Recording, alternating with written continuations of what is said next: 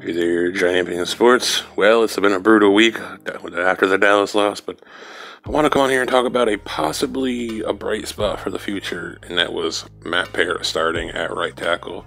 And, you know, he's taken a lot of uh, flack from a lot of people. A lot of people say he's no good, he's a bust. But I've always said that he'll be fine. He graded out, I think, higher than anybody else on this offensive line last year. Obviously, He's a very raw player, just high end athleticism and length he has. But when Matt Peart came in and played the Cowboys game, he was what I thought he was. So I feel like maybe I'll have one opinion this year that might come true.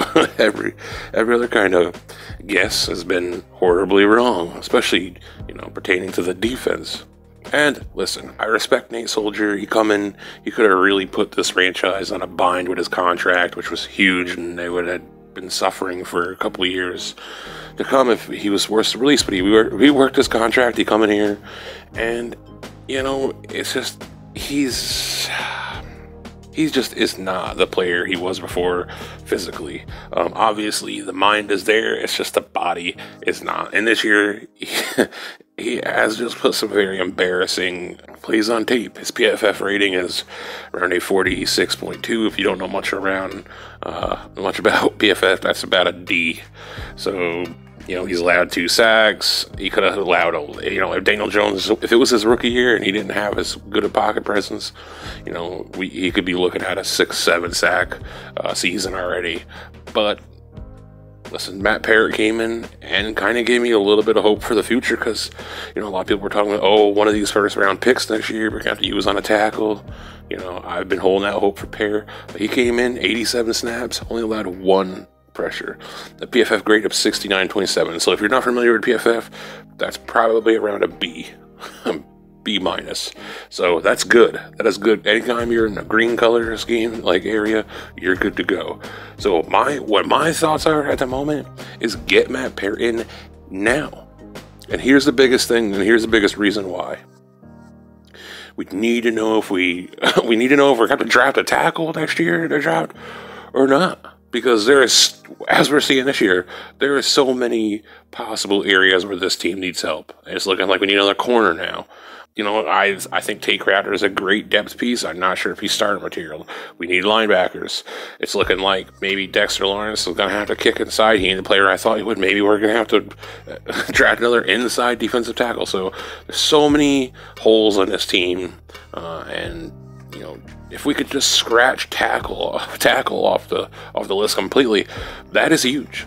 And listen, this ain't gonna be a long video because here's my here's my thinking. Obviously, Dave Gettleman's gone, but maybe he could at least on his way out have fulfilled, you know, what he said about this offensive line. Pretty much the offensive line. Skura looks like a good depth piece. Um, if Nick Gates can come back, Matt, uh, Shane Lemieux was amazing. Obviously, short period, but he was amazing when he was in there. He was looking like a top. He was playing at a top tier, you know, guard level. Um, Will Hernandez, I'm out. I'm out. I, am I'm, I'm out on Will Hernandez. So if everything's solidified and all we need to do is draft one guard, I mean, you ain't got to draft a guard in the first round. You can get a decent quality guard in the second, third, fourth, and look, even um, Shane Lemieux was fifth round guard. So it would just be so nice if Matt Peart is the guy. Let's get him in here and give him a shot. Give him a real, true chance because I know there's a lot of people that are out on him, and that's a narrative that's going around. But I think he can be a guy. I think he, honestly, I think he can be as good as Andrew Thomas. Like, they have pretty much the identical, you know, length, height. Uh, I don't know. I at the moment I don't have what they put up bench reps. You know, in college, that'll probably give you an idea of the strength wise. I really think like their high end, upper end where they can get to. I think they're right, right about the same area. So, listen, I'm not saying that he's gonna ever reach reach his ceiling. But that's it for me. Anyways, I'm not gonna sit in here and ramble. That's my plan. I just I really want to come make this video just see what you guys say. What do you think? Are you thinking along my lines? Do you just you think get in there? Maybe he turns out to be the guy. Uh, do you think let him sit, let him learn, and you know go that route?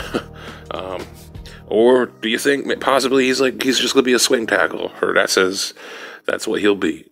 Uh, anyways, let me know in the comments. Uh, like, subscribe, all that stuff, and peace.